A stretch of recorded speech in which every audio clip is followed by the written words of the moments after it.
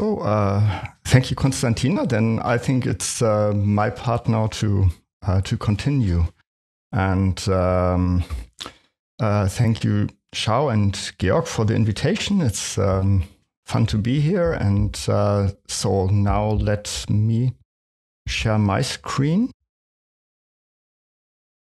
Okay, so um, a brief look into 3D audio. Um, I'm uh, not going uh, very much in technical detail, and uh, I'm not planning to answer lots of questions, but rather to raise some questions. And then I'm looking forward, as uh, Konstantina, to the discussion uh, after the presentation. So, uh, what I'm going to, to talk about briefly is three topics. Uh, number one, how we perceive the environment, the three dimensional auditory environment, and how we recreate it by technical means. Uh, then um, about some metaphoric spatial properties of sound, and then um, finally a very short look onto what this might mean for uh, composing in space uh, starting with this beautiful quote by Charles Darwin Has the oyster a necessary notion of space? Uh, um, likely not, because um, space does not um, have a, a, sp- a specific um, meaning in the life of, of an oyster, I guess, but it does have in our lives. So, um, uh, how do we perceive space? Um, uh, first, uh, we uh, perceive space by auditory objects explicitly. So uh, the spatial relation between two sounds in space creates space. Um, and uh, so the, this is um, one property of the perceived auditory scene or acoustical scene mostly through distance and direction in the horizontal plane. So our our um, auditory perception is optimized for the horizontal plane. Um, this is what um, we might call sonic envelopment. Uh, and then number two, um, we perceive space um, by um, means of reflections from room boundaries. Um, which um, gives us an implicit sensation of being in a space, in a closed space. This is what uh, we might call spatial envelopment. I'm following here the terminology of Jan Berg.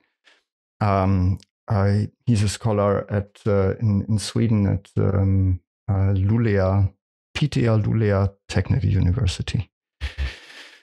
Um, then uh, the, this is the the real situation, our physical environment. And then, of course, we can create this uh, technically. We can create an illusion of space. Um, and um, what's quite remarkable is that perceptual representations of the physical space are evoked even if the physical simulation is limited. For example, even if uh, we are doing this in stereo, just in stereo. So um, a proper stereophonic recording of, say, a concert in a beautiful concert hall or church gives us the three dimensional impression of this space, of the, the music and the musicians and the surrounding uh, architecture. Uh, although uh, the the playback is is just uh, from two points in our living room. So um, space might be created or the, the, the, illusion of space might be created via monophonic playback or stereophonic playback or so-called 3D or spatial playback. Um, I'm not distinguishing here, but maybe if, uh, if um, you're interested, we might discuss this later between different approaches like channel-based, scene-based, or object-based uh, 3D audio. Uh, but then it could be also headphones playback binaurally or not, or transaural. Uh, and then, um, of course, finally, we can uh, discuss um, auditory augmented reality or virtual reality. Um, so um, a bit um, some some short remarks on uh, how we orientate in space, how we um, localize sound sources in the physical environment. In the horizontal plane, directional cues in the horizontal plane, the very well known uh, so called spatial cues are number one, the interaural time difference, number two, the interaural level difference.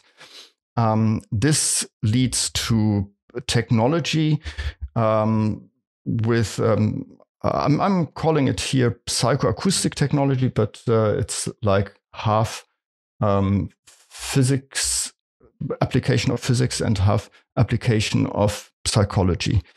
Um, best known uh, stereo, the stereophonic recording and playback system, um, which was uh, once 1931 um, invented by Alan Blumlein, BBC engineer, uh, and he actually filed a patent on stereophony. Um, and then, of course, um, we can go one step further to surround or quadraphonic playback, surround playback, so called 3D. Um, and what all those systems have in common is the idea of phantom images um, that appear in between some playback loudspeakers and um, uh, that we can perceive the size of the virtual source. Uh, and uh, I'm borrowing this term apparent source width from architectural acoustics. Um, and then there are some spectral cues as spatial cues um, due to the, the uh, influence of head and the external ears, the pinna, to the sound field and the torso as well. And uh, this is what we call the head related transfer function or the head related impulse response. And the complete head related transfer function, of course, includes uh, the uh, interaural time and level differences. And this leads to some more like physical modeling technologies uh, like dummy head recording, binaural rendering, transaural rendering, which means binaural played back via loudspeakers, or uh, VR AR technologies uh, with or without head tracking. Um, in the vertical plane, um, the interaural time differences, interaural level differences vanish. So there are no more interaural differences in the vertical plane. Uh, so uh, the um, directional perception the, um, in the vertical plane is uh, exclusively due to uh, head and ears and torso, so the, the external ears. Um, when we're uh, working with 3D uh, audio, uh, then uh, the the basic um, idea might be to um, create auditory objects with uh, specific distances and directions. Um, so distances um, would be uh, typically created mainly through level and spectral cues. I'm um, calling this here relative to an internalized concept because um, we can perceive the distance of an object if we know the sound, if we know how it sounds, then um, uh, we we um, can um, imagine it in a certain position in space. So uh, this um, we might call this the perceptual constancy, um, following the uh, constancy of the environment. So if, uh, for example, we hear a voice, um, someone speaking in the real world, in the real physical world, then uh, we can uh, quite exactly tell where this person is and in which um, distance uh, this person is simply due to uh, levels and uh, and uh, the the spectral content of the voice. And indoors, there's one more um, distance cue which is uh, the direct to diffuse ratio uh, and the specific reflection patterns. So, um, which is uh, to me um, a bit of uh, of magic of our um, perception of, of auditory perception that we have an extremely extremely complex uh, and chaotic sound field indoors in an enclosed environment, but uh, this does not uh, lead to like uh, confusion or disorientation, but exactly the other way around. Uh, uh, our perception uh, can calculate quite exactly our relative position in the space and the positions of other sources in the space from this super chaotic patterns. Um, and this leads to, um, if, if we uh, implement this in technology, uh, leads to levels and equalizers and artificial reverb to um, then create the, um, the illusion of distance. And again, perceptual constancies. So uh, quite interesting. So if we don't know the source or if there are no hints, uh, of the the um, of uh, how a source might sound like, uh, then we simply cannot perceive the distance. Uh, so, a short recapitulation. Um, the explicit perception of space, we're perceiving the auditory scene as it is, or we hope we hope that we perceive it as it is um, and we're perceiving things in space, so the apparent physical world, and um, investigating this way of uh, perceiving the environment is subject to this uh, classical psychoacoustics. But then uh, some some question um, will then arise like, um, can we localize a sine wave? No, we cannot. Um, can we localize a sine wave with a distinct edge, so a sound wave that starts, ah, that might be better, um, and and so on and so on. Um, the voice of an alien animal, quite interesting. Um, flute in an AB stereo recording. This is uh, one of the uh, the the um, most complex questions for Tonmeisters. so uh, never record a, a, high flute in AB or spaced um, microphone setting because this can lead to very confusing uh, localizations. Okay, uh, then um, uh, second, uh, perceiving the, the, the the implicit space, the um, this the passive space, the walls. How uh, what's the impact of the walls? Uh, um, the walls create reflection patterns. Um, so uh, this gives rise to perceiving the volume of the architectural space. So we actually can hear the volume and we can hear the materiality of specific surfaces. Um, I'm uh, I think I will skip this here because so the precedence effect or law of the first wavefront. Uh, this is um, specific idea of uh, how we perceive uh, reflections or secondary sounds that uh, come within a specific um, with, with, a specific delay. So if the specific delay is shorter than uh, than 30 milliseconds, then uh, this is um, then then we, we start to, for example, hear a wall if it uh, comes later than maybe 30 milliseconds or 10 or 100 milliseconds, but it's in this range roughly, then we might hear an echo. Um, and then the diffuse sound, the super chaotic diffuse sound in an enclosed space, um, is um, a hint for our perception uh, to let us know the again the volume of the architectural space and the average materiality of all surfaces. So we can hear if we are in a room with hard surfaces or with rather soft surfaces we can hear if uh, a space is built from wood or from brick or from concrete or glazed tiles or so this this is something that we can actually hear.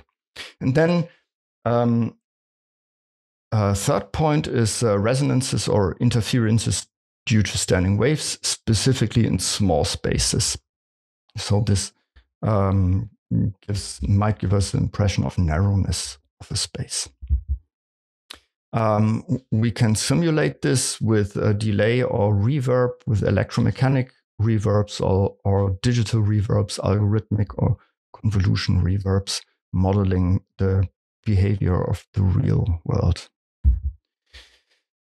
There's um, um, quite interesting um, observation by Arthur Benade, uh, something that he calls the generalized precedence effect.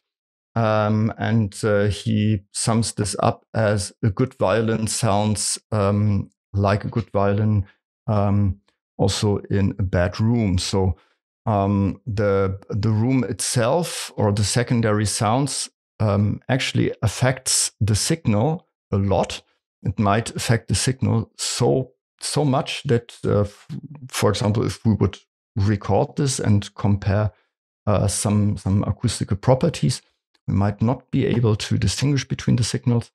But uh, then uh, our perception uh, simply subtract uh, subtracts this, and um, uh, so so uh, th this is uh, one one um, property of our perception that uh, helps us to orientate in closed spaces in noisy environments.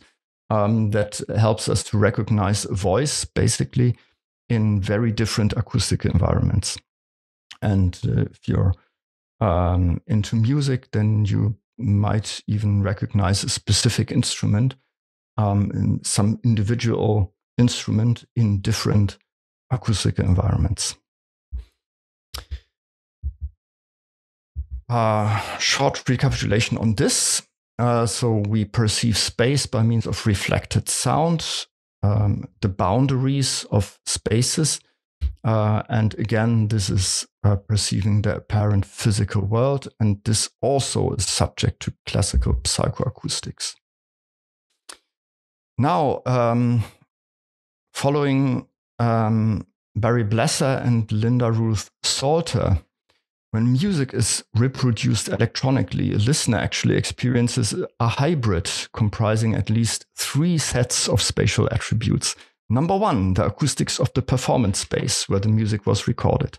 Number two, acoustics added during the mixing process when the music was prepared. And number three, the acoustics of the listening space where the music is actually heard. Um, so we are uh, typically listening to like super um, positions of spaces and again, our perception is capable of subtracting um, certain elements. So typically, when we, for example, listen to a recording in our living room, then our perception likely will subtract the acoustical properties of the living room so that uh, we finally don't hear um, some musicians playing in our living room, but rather our living room uh, like being inside a church if we're, for example, listening to a choir recorded in a church.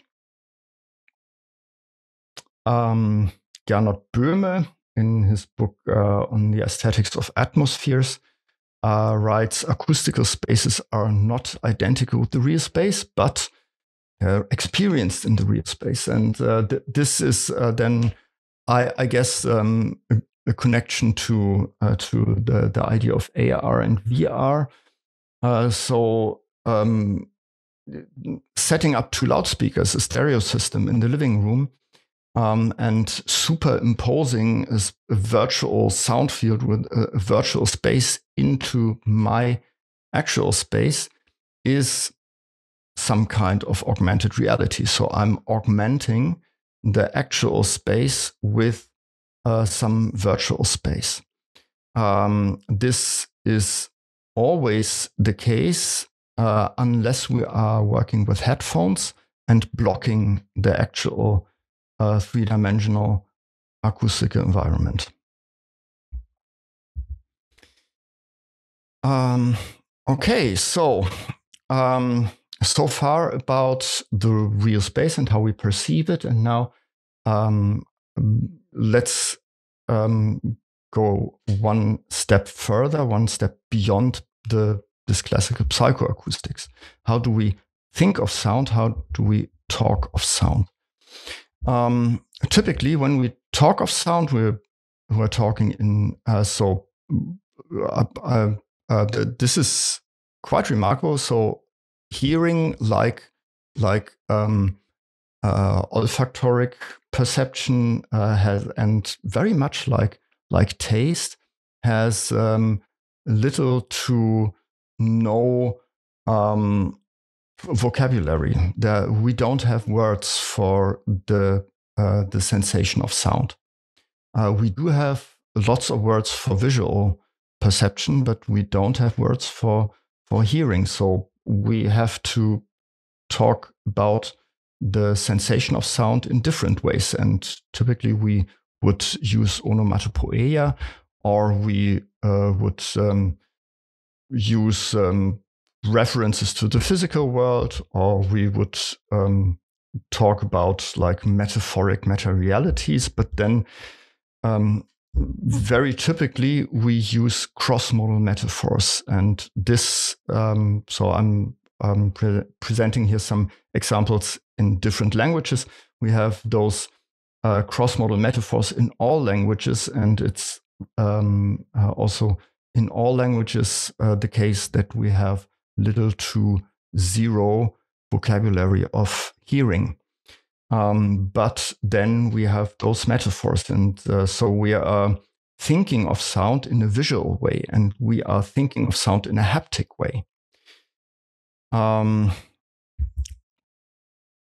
Lakoff and Johnson uh, state once we can identify our experiences as entities or substances, we can refer to them, categorize them, group them, and quantify them, and by this means reason about them. So uh, let us uh, go back to the to uh, the how we perceive sound in space. It's the thingness of the sound. Uh, I'm picking here this fancy picture from from this weird YouTube tutorial uh, aimed at amateurs producing music. Uh, and no one would question um, uh, a picture like this. So yes, this is like uh, the, the, this is how the music looks like. And uh, please note that the bass is bigger and uh, a bit lower in space, as for example the snare or and the cymbals are quite high in space. Uh, so why that? So we do not hear sound. We do not perceive the sound field, but uh, what we actually perceive is a hypothesis of the source or the origin of the sound externalized as an object in space. Um, this is what um, um, Pierre Schaeffer and uh, Michel Chion call causal listening. Uh, so we're hearing um, the door, um, but not the sound. So we're categorizing the, the, the, sounds according to the objects that create the sounds.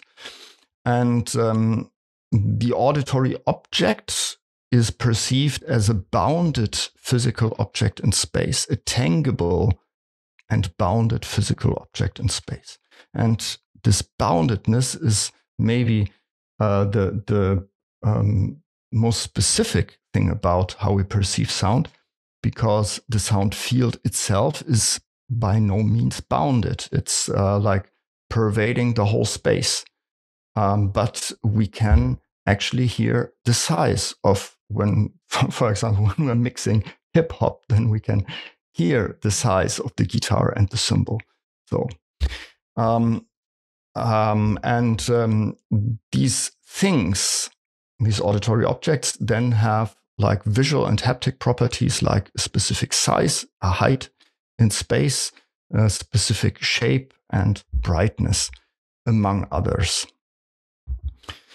which, by the way, uh, leads to uh, the, the beautiful conclusion that mono is 3D because um, when I'm setting up one loudspeaker and playing back one sound, then I am actually perceiving an object in space, which is 3D. So I'm perceiving 3D. Um, the 3D audio systems, the more complicated, complex 3D audio playback systems or production systems, then simply allow me to position the this uh, auditory object wherever I want. Um, okay, so um, about the cross-modal perception. Sound can be metaphorically high or low. This is uh, uh, also called this, the spatial musical asso associations uh, of response codes or space pitch um, associations of response codes. This specific effect that we are um, uh, like connecting a pitch or spectral weight with um, a position, a vertical position in space.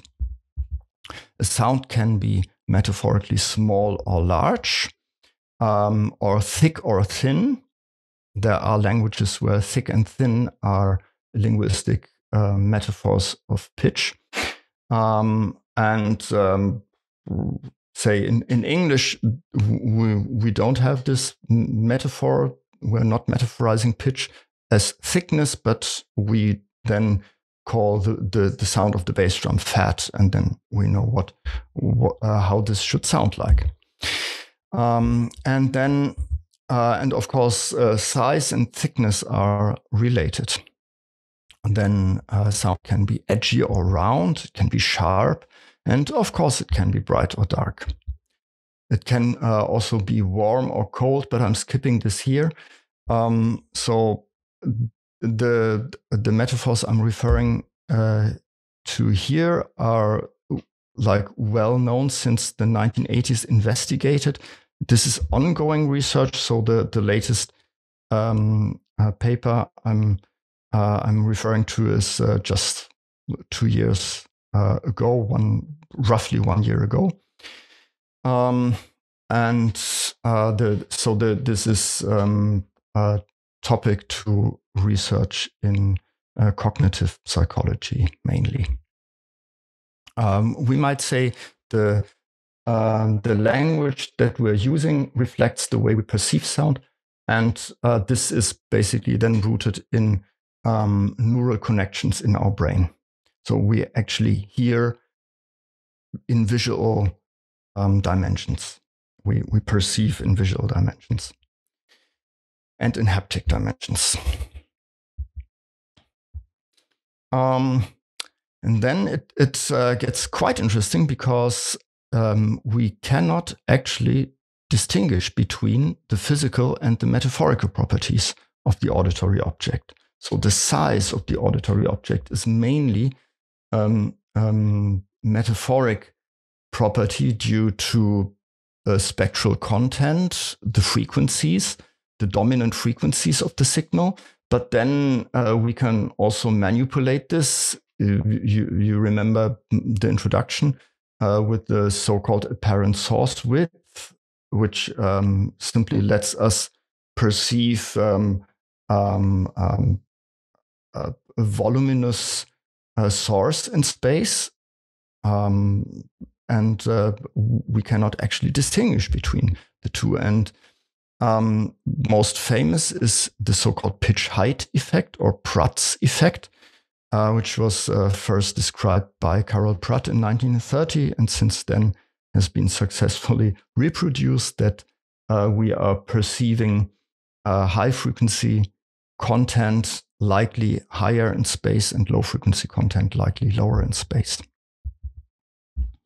So, um, and short recapitulation here about metaphoric and metaphorical and physical space. The height and the size of the auditory object have each a perceived physical and a metaphoric dimension. I uh, uh, call this here the perceived physical dimension because the um, we have no access to the to the real physical dimension uh, just through our perception. So um, um, actually, there there is not this big difference between the perceived physical world and the metaphors that are evoked in um, in our cognition. The movement of um, an auditory object uh, can have complex metaphoric dimension. Uh, uh, so um, it can we, we can um, we are imagining movement according to pitch, but also according to temporal structures, uh, like um, um, the the intrinsic movement of of a melody, for example. Uh, besides, again, its perceived physical dimension. So um, uh, we we can uh, have like when when we're when we're using uh, uh spatial audio or 3D audio as a creative tool, then we can play with all this metaphoric movement and physical movement and metaphoric height and physical height, metaphoric size and physical size. Um, the intensity as well as the low frequency content both refer to the metaphor of size, uh, or uh, both are linked to um, uh, cross modally linked uh, with the size, uh, perception of size, uh, but they are as well distance cues. If you remember um, now the, the short introduction on spatial cues, the distance cues, um, the, the spectral cues, and the level. So uh, this is, of course, um, then, for example, quite common in in film sound design. If you want to to uh, create the impression that something is very close and in front of the screen, then bring the level up and bring the bass up. Then it might appear uh, before the loudspeaker, so before the actual physical event. Um, and then the auditory object may have a metaphoric shape and metaphoric haptics, metaphoric surface, like it can be soft or rough or sharp or edgy or round and so on. One open question is uh, if the auditory object can he uh, have a perceived physical shape. So uh, could we distinguish between um, different geometrical or, uh, structures in space, which is, by the way, topic uh, of research right now in uh, in. Um, finally, quoting Katrin Fahlenbrach uh, from uh, her book um, Audiovisuelle Metaphern, Audiovisual Metaphors, perceived space is basically basically different from physical space. We are not measuring physical properties of space, but we perceive the environment with regard to our options of behavior or in interaction with the environment. Specifically meaningful are, for example, sizes of objects and their relations and distances. And this, of course, then opens the discussion to um, embodied perception, embodied cognition, ideas, concepts in um, in audio and specifically in spatial audio. So, um, what uh, could this all mean finally in uh, for for uh, composing with space or for utilizing spatial audio for sound design or music composition? Um, spatial concepts um, referring to the spatial relations of auditory objects could be like up and down, close or distant. So playing with the the um, the height, and then of course the uh, related conceptual metaphors of height, which are so uh, uh, like according to Lakoff and Johnson, like uh, up is good and uh, down uh, is is bad, or um, conscious is up, unconscious is down. Uh, so uh, concepts like this are of course related to um, to the pitch of the sound, uh, all sound designers who are into um, like uh, dramatic low pitched sound effects know this, and all music producers who like fat bass drums know this. But um, uh, then um, another open question might be uh, can we play with this uh, with, these uh, conceptual metaphors with the um, the literal spatial position of the sound then close and distant are of course very powerful spatial concepts um, short remark here uh, it's a big difference if we're working with a loudspeaker playback or headphones playback in principle in headphones playback it is possible to position a sound just in front of the nose or at the shoulder of the audience. Uh, and you you might uh, be familiar with ASMR, which has lot to do with proximity. Um, in front, behind, uh, uh in relation to the body, to the posture of the body, uh, central peripheral, so rather close or rather distance to my point of listening, inside, outside. Then spatial concepts um, referring to the perceived architectural space. Um, uh, the, this space can be, for example, large or small. It can be wide or narrow, can be low or high, which is, by the way, something uh, that uh, might call for true 3D or spatial audio technology. Uh, so it's not easy to to uh, communicate architectural height with a two dimensional playback. So it it helps if we have a loudspeaker um, above our head. Space can be open or closed. So. Um, summing this up, um, uh, some some ideas of how to play with spatial audio. Uh, the vertical position, the distance, and the size of the auditory object have a perceived physical and metaphoric dimension. And these physical and metaphorical dimensions can be congruent or incongruent. But at least um, if we work with spatial audio, we should be aware of the congruency and should try to incorporate this as a creative means.